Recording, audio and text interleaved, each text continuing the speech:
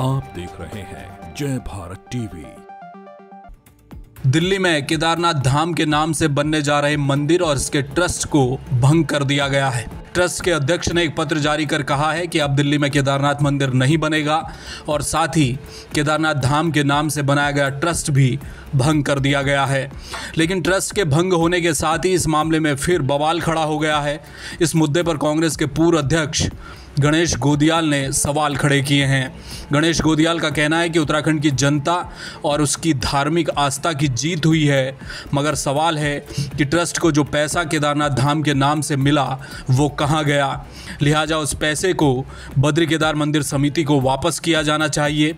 साथ ही जो शिला केदारनाथ से दिल्ली ले जाई गई, उसे भी वापस लाना होगा। और जो दिल्ली में मंदिर के लिए ज़मीन जुटाई गई, उस ज़मीन को भी बीकेटीसी को दिया जाना चाहिए।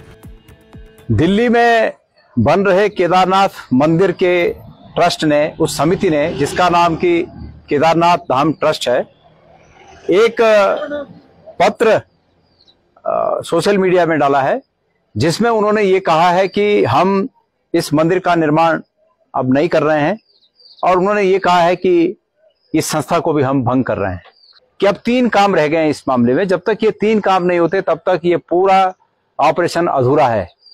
और ये तीन काम है।